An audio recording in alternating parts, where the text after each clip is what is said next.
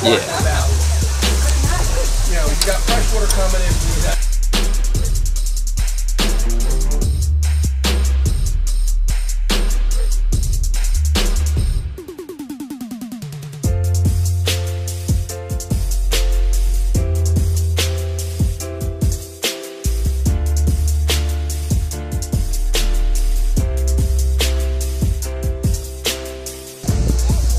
There's an amazing opportunity when we get a chance to come on these chef trips.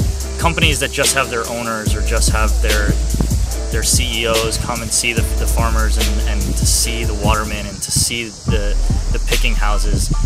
It's just for them, but really the power is in having every employee have an opportunity to come and meet these people because the ownership and the buy-in of what we do every day and how we can connect to our customers is just that much deeper.